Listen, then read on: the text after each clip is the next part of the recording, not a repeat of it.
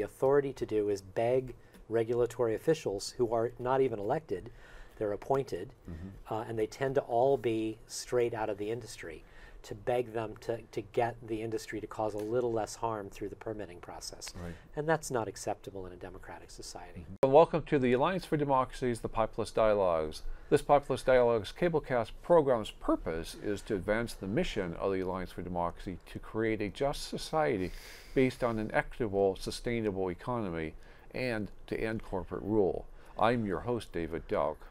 Our guest today is Paul Cienfuegos. Paul is an educator and organizer in the community rights movement, which has now come to Portland, but more on that a little later. Paul has been our guest before. In fact, he was here last week.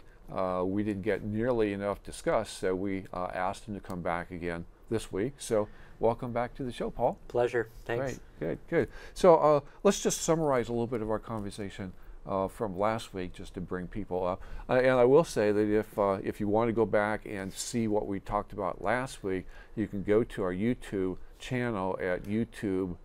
Uh, no, it's at uh, yes at YouTube.com/slash Populist Dialogues, and and you'll be able to watch the uh, watch the first part of this two-part series. So. Uh, just summarize what's community rights or uh, what is the community rights movement? So it's a new movement in the United States that's about 13 years old. Um, and it's a movement of communities that are that have grown sick and tired of the state and federal government telling them that they don't have the legal right at the city or county level to pass laws that simply protect the health and welfare of the community and its local environment, and have grown sick and tired of corporations pushing around local communities and putting in industrial and, and, and commercial developments that the city doesn't want. Toxic, you know, toxic dumps, big box stores, etc. So um, it's gotten to the point now that over the last 13 years, there are 150 communities, including one major city, Pittsburgh, Pennsylvania, in nine states, um, that have passed these laws that are legally binding. And I'm the lead organizer in this state of Oregon and uh, have been very active for the last year and a half right Great. here. Uh, talk just for a moment about uh, last time we talked about the regulatory box. How's the regulatory box? What, what, what are we talking? The reg- regulatory law structure was created in the 1880s um, through conversations in private between the U.S. Attorney General and railroad company executives to create this small box, basically, for we the people to have to stand in um, when we are uh, concerned or outraged about corporate harms. Um, and, and for the last century, it has, the system has worked so well that every industrial sector has gotten its own regulatory, uh, uh, uh, its own regulatory agency. So And these agencies, uh, publicly when they're formed, are formed uh, at least in terms of the, the, the PR that goes out before. Uh, is that this is a way that we the people regulate the industry, but in fact it's the other way around. This is the way that industries actually regulate us. regulating us. My colleague Jane Anne Morris says the primary purpose of environmental regulations is the regulating of environmentalists. And, I, and I think that's absolutely right. Right. Is that environmentalists don't have the authority under conventional law to say, we don't want this toxic sludge dumped on our farmland, we don't want this clear cut, we don't want this big box store, we don't want this river dammed, et cetera, et cetera. All we have the authority to do is beg regulatory officials who are not even elected, they're appointed, uh, and they tend to all be straight out of the industry, to beg them to, to get the industry to cause a little less harm through the permitting process. Right. And that's not acceptable in a democratic society. Okay. Uh, the woman's name again, and what was the name of her book? Jane Anne Morris um, wrote a great book called Gaveling Down the Rabble. Um, she's a Madison, Wisconsin author, and um, it's about the use of the Commerce Clause of the U.S. Constitution to basically give corporations a phenomenal s- selection of rights that they use against us. Right. And I read that book years ago, and it is a, a mind-opening uh, book, and so I highly recommend it to our audience. It's kind of hard to get, so I definitely It's actually really to. easy to get. Really? I Okay. carry it here in town. Oh, okay. Um, I carry all of the key books on democracy and corporations in stock in my bookstore, 100fires.com, 100fires.com. okay. All right. Yeah, Good. I have copies in stock today. Okay. Good. Well, I highly recommend folks contact Paul and get that book and read it and understand it. Um, so, uh, mo- moving forward, uh, the movement originally centered in Pennsylvania has now moved across the country. You talked uh, last week about what had happened in Spokane. Uh, I know that they also were involved with writing or rewriting the Constitution in Ecuador. Yes. Um, so basically, I work in partnership with a group called the Community Environmental Legal oh, yeah. Defense Fund, or CELDF, C E L D F.org is their website. They're a public interest law firm that is the group that helps these 150 and climbing communities to write these specific local ordinances. And again, the, the ordinances do three very specific things. They strip corporations of their so called constitutional rights, what many people know as corporate personhood. They strip state and federal nullification laws from saying you can't pass these laws to protect yourself because that violates state or federal laws. They strip state and federal allowing to do that. Mm-hmm. Um, and they ban specific corporate activities. And so uh, what happened was that starting in Pennsylvania 13 years ago, um, these rural conservative farm communities kept banning corporate agriculture one after another until there were about 20 of them that had done this.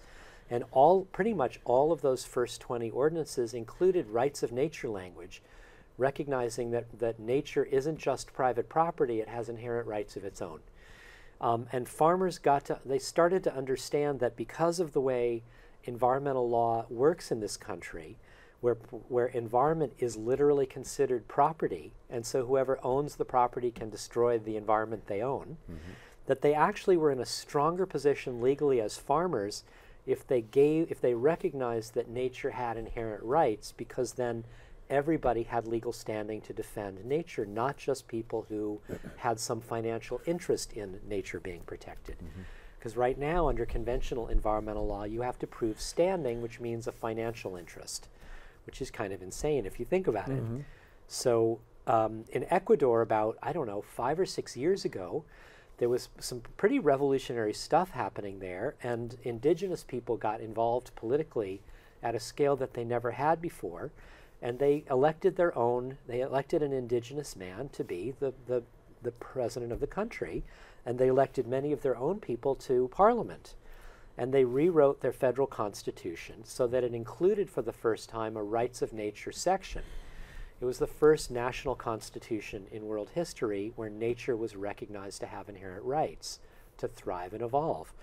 And fa- uh, the, fantastically enough, the reason, one of the reasons they even did this is that these native leaders in Ecuador had heard about what was happening in rural conservative Pennsylvania. Hmm. And they invited Pennsylvania farmers and Thomas Linzey, the director of Community Environmental Legal Defense Fund, to Ecuador to consult them about how you put rights of nature into law.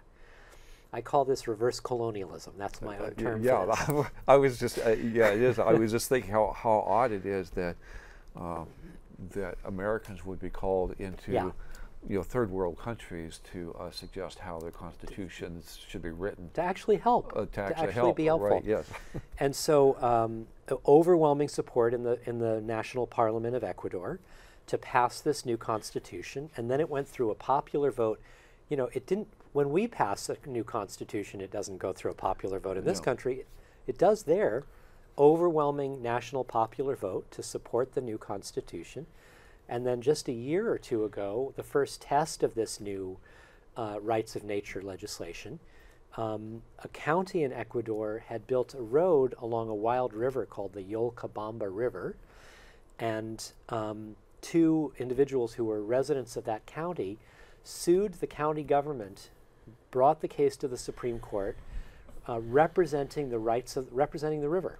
Mm-hmm uh, and, and um, accusing the county of seriously damaging the natural flow of the river with this new road building along its edge. And the Supreme Court of Ecuador heard for the first time the first test case of the rights of nature law, and the Vilcabamba River won hmm. in the Supreme Court. And the county now has to spend whatever is required to put the natural flow of the river back into place. Very exciting. So that's pretty interesting. Very exciting. I don't think that there's been a rights of nature legal test yet in Pennsylvania or in the other states that have passed uh-huh. this within their local laws. Mm-hmm. Mm-hmm. Okay, all right. So um, you said that there were seven groups of community rights. Um, organizing here in the state of Oregon. Yeah. So let's talk about some of those and what they've been doing. So my primary work, and I'd love to come to your community if you're listening to this, you know, or watching this on YouTube or whatever, is um, I do introductory workshops, and that's how five of these seven communities launched. Is they came and, and attended my introductory workshop in their town. Um, it starts with Benton County, which is Corvallis's county in the Willamette Valley, where about a year and a half, two years ago, I led an introductory workshop where I, i where I introduced a, a food bill of rights ordinance that had been drafted by CELDF for another community, but it hadn't been used anywhere yet. Um, and a bunch of farmers, uh, I, I, I organized this actually myself at the Corvallis Food Co-op, and about 45 people, mostly farmers, showed up and six farmers from Benton County literally walked right out of the workshop together, went to a pub across the street, and start and said to each other, "We're going to do this. This is urgent. Let's get this thing going." And out of that was formed the Benton County Community Rights Coalition, which just a few weeks ago finalized its local ordinance, which it calls a Sustainable Food System Ordinance, and uh, and filed it with the county elections office in Benton County. Um, and there's a there's a count the, the county's attorney has a personal grudge against this ordinance, and so he's trying to stop it from going to the ballot box next May. So there's a legal battle taking place right now. We'll see, you know, what happens with that. But if you want to know more about the Benton County ordinance, you can go to bentonccrc.org. That's their website. Um, a few months later, um, I introduced this work to a group of folks in Lane County, which is Eugene's County in the Willamette Valley. And they just this last week um, filed their local food system ordinance. That's what it's called. And you can look at their work at communityrightslanecounty.org. Um, I was one of the founders of the group here in Portland. We have a website that's just gone up this month finally called communityrightspdx.org. And we just in the last month or two have decided to launch two countywide ballot initiative campaigns, hopefully for the November 2014 ballot. One is going to be um, fashioned on the Lane County s- local food system ordinance. It will ban all GMO agriculture countywide in Multnomah County if it passes. And a second is a fair elections ordinance, which um, our goal is to strip um, the right of corporations or wealthy individuals to give substantial donations to uh, city or county government or to impact ballot initiatives in any way. Um, and to also ban it would if we we think it would also ban uh, any uh, secret meetings, any private meetings between corporate representatives and local or county government. So some kind of fair elections ordinance. So we have drafts of already of both of them already in the works, and we hope to launch both of them this fall. Okay. And in Portland, we're doing two major events in September uh, where we're going to be talking about and launching these two ordinances. And we're going to have Thomas Linzey in town, who's the founding director and lead attorney at the Community Environmental Legal Defense Fund. Right. Okay. And he's going to be giving speeches on both of these topics. Right, yeah. And I highly encourage folks to come and hear Thomas Linzey talk. We had Thomas Linzey, uh, and when I say we, I'm talking about the Alliance for Democracy, sponsored Thomas Linzey to come to Portland probably 10 years ago and do one of his, uh, one of his weekend long democracy schools, uh, similar to what you do Yes. uh, in your two day workshops. And he was absolutely phenomenal. So I really hope Yeah. that people will really turn out for both of these both of these two events. Yeah, this the first one is Saturday, September 21 in the evening at PSU's ballroom, and Mm-hmm. the second is Sunday, September 22 in the main hall at the Unitarian Church in Right, downtown right. Portland. So both of and the those second one is sponsored by your organization. Right, yeah. And both of those facilities hold 600 people. Uh, so hopefully we'll have 1,200 people That would be uh, awesome. coming to both of those and really rev this up in, in Portland. Uh, talk more about uh, the objections on the part of the attorney in ben- uh, Benton County, Benton where they challenged uh, the, the initiative Yeah, there. so this is actually the second time that they've been delayed in Benton County. Um, there is something called the single subject rule in Oregon that means that uh, when you're running a ballot initiative, it has to be on just one particular topic. It can't be on multiple topics, and this is somewhat unique to Oregon law.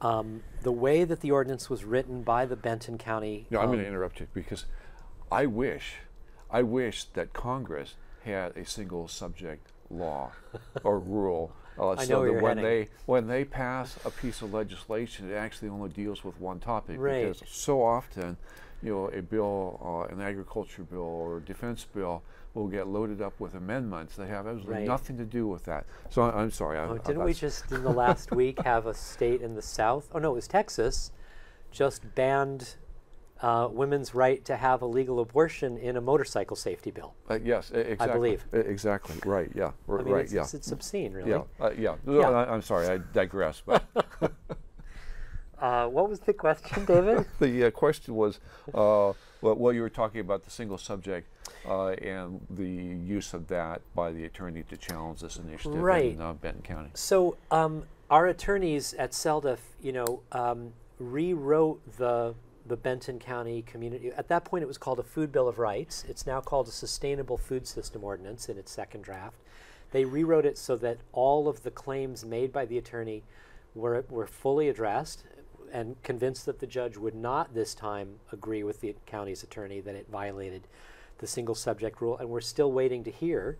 But interestingly enough, I mean, this guy just kind of has a vendetta against this kind of. I mean, this is this kind of lawmaking is really threatening to a certain a certain kind, a certain political kind of of uh, politician or, or attorney because it challenges. It's a frontal assault against state and federal preemption and corporate rights.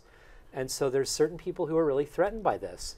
And I don't mean to imply that it's a left, that it's a conservative, th- that, th- that conservatives are threatened because most of our ordinances in the country will actually come out of very conservative rural communities. So it's not a left versus right uh, movement at all. In fact, the right is, is the are the heroes really of most of these um, these wins so far. But this particular And when you attorney- say left and right, you're really talking about in the traditional sense that we think of those terms. and Uh, I in- and I get really tired of those terms. Uh, uh, quite honestly. yeah, yeah, uh, yeah, And, and I, I think you know, thinking in terms of the history of uh, you know going back to the populist movement, which is kind of really where this all starts. Yes. Uh, that was uh, again very conservative farmers that were Yeah. challenging the power of corporations, Exactly. unions and or not unions, uh, railroads uh, Yeah. and banks to control their economic destiny. Exactly. Right. And trying to create a national party Uh, yeah. that challenged corporate power. Right. uh, Yeah. Right. So this is you know this has this intellectual um, Long history. history. Right. Mhm. The, the attorney, the county's attorney in Benton County, in the very first legal challenge, he filed two legal briefs with the um, with the judge, and believe it or not, one of his legal briefs argued that the Benton County Community Rights Coalition was a terrorist organization under the FBI's definition of a terrorist organization, and he confused our work with the sovereign citizens movement, which is a very different kind of movement. But he was paying so little attention to what we're doing, where we're trying to build majority support. I mean, none of our ordinances move forward unless a majority of the electeds or a majority of the public votes yes. This is not an individual rights movement at all. It's a community rights movement, which he seems to fail to completely fail to understand with this charge of, of, um, of terrorism. It's pretty amazing. Yeah. So A- that's his value around what we're doing. Okay. A- And and this charge of of being a terrorist organization has that dropped off of, or is that still? It wasn't uh, in his latest brief challenging our rewritten um, sustainable food system ordinance. Uh-huh. okay. And now we're waiting to hear what the judge says this time. The only legal challenge that's allowed in this state to, to stop a ballot initiative from even being voted on, let alone being sued after it's voted on, is the single subject rule. That's the only thing he's allowed to use. So that's again what he's what he's using. Okay. But we're convinced that this does not violate the single subject rule. The Lane County ordinance was filed just a few days ago, uh, and they only have, the county has five days to either forward it to the elections office to put it on the ballot this coming May 2014, or to challenge it again. We don't know. We, we think this one's going to go right through. Right. Yeah. So uh, well, by the time this program actually airs, we'll know. We'll know. one way or another. That's right. right. Okay. Right. So uh, hopefully it will go right through, and we can have a we can have a vote. We'll Let the vote. people vote. Exactly. Let the people because decide. and the judges have always stood really at, at this in local and state ballot initiative making, judges have always tended to stand with the people's right to at least get it voted on. The argument in court is it's not illegal or unconstitutional when it's just a proposal. It becomes illegal or unconstitutional, the claim can be made once it's voted on Exactly. with an affirmative vote. Right. Then you can sue. But to stop the public from even voting is really a an outrage against Mm. Yeah. the democratic process. Yeah. Uh, talk about what happened in Las Vegas, New Mexico. So last year, the first community ever in New Mexico to pass a community rights ordinance was Las Vegas, a small community in northern New Mexico. Um, they banned fracking, and the city council passed it. The mayor was so opposed that he threatened to sue. They basically threatened to sue themselves to stop it. Um, but it passed, and for the last like at least six months, maybe a year already, the mayor has been refusing to sign off on the on the bill, which passed by majority. Um, and it's normally just a formality. The mayor has to sign it, and then it becomes law. And he's refusing to sign it, and so there's an increasing effort by the community to oust the mayor, because he's violating their their authority as we the people. Right? The law was passed, you know, through the legal process. Um, So, so he, he's he's assuming a unauthorized power of veto. that's right, Okay, which he doesn't have. that would be like having a monarch. he's acting as a monarch. right. That's right. And then just a few months ago, the very first county in, in U.S. history ever to pass um, a comprehensive community rights ordinance, Mora County, New Mexico, which is mostly Chicano and indigenous people, small county. I mean, large, geographically large, but very few people. Um, they, um, their county supervisors needed to pass what was being proposed by by a, a majority of their three supervisors. So they needed two votes to get it passed. They only had one vote. So last year, uh, an individual ran for the first time again in U.S. history ran to be elected to county government on a community rights platform, promising to vote yes on the on this ordinance if elected, and he was elected. And now they have the second vote of three, and they passed the community. Uh, it's called the Community uh, Water Rights and Local Self Government Ordinance.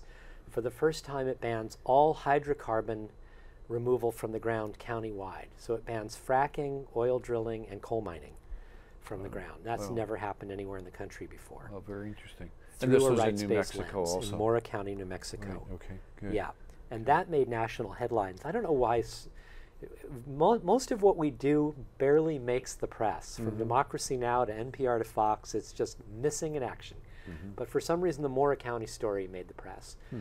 And a bunch of attorneys in five different states contacted CELDF and said, I will help to defend this bill, Uh-huh. this law. Okay, all right. Um, we have uh, less than five minutes. Okay. So, uh, I, I again will offer you, you know, a couple minutes to do a kind of a, Okay. a summary uh, statement. Well, um, so I just want to encourage people to get involved in the community rights movement. If you live here in Portland, um, you can go to communityrightspdx.org and find out about our twice a month introductory two hour orientation workshops, which is how we ask you to start in your involvement with us. Once you go to an orientation workshop, you're welcome to join our group, which meets weekly. Um, we need, we're going to need a lot of help to run these ordinance campaigns in Portland over the next year. And um, if you live in other parts of the or of the state or in the country, um, please invite me, Paul Cienfuegos, to come out and introduce this work in your community. I'm, I'm the lead organizer in Oregon for the community rights movement. There are very few of us doing this work full time on the West Coast at all. Um, and we're moving very rapidly. We're 150 communities in nine states have now passed these legally binding ordinances that are directly enforceable by we the people at the local level. That's also pretty rare for laws. We usually beg our electeds to enforce laws. right, We yes. get to enforce these Yes. laws Very that strip very corporations. Mm-hmm. of their rights and ban harmful corporate activities and push back on state and federal lawmaking that says that we don't have the authority locally to govern ourselves. Mm-hmm. We call we say that's bull, and um, we're moving forward in 150 communities. Great, yeah. Uh, you're going to be doing some two-day workshops also. Yeah, I lead two-day intensives around the country. Um, haven't done one in Portland lately, but I will be doing one in October and November. Okay. And you can go to my website calendar at paulcienfuegos.com to sign up. Okay, excellent. Thank you very much for being here again. Really lovely. All right, Thanks. great, good. Our guest today has been Paul Cienfuegos. Paul is an educator and organizer in the community rights movement residing here in Portland. Contact Paul via email at paul at 100fires.com. Also, more information on the community rights movement is available on the Community Environmental Legal Defense Fund website at www.celdf.org. Uh, as mentioned, Paul is helping to organize two upcoming events in Portland with Tom Linzey, uh, the founder of Community Environmental Legal Defense Fund. Paul will be in Portland spe- for speaking events on September 21st and 22nd. On the 21st, he'll be at Portland State. His topic will be sustainable food and GMOs. His second event will be on Sunday, September 22nd at the First Unitarian Church.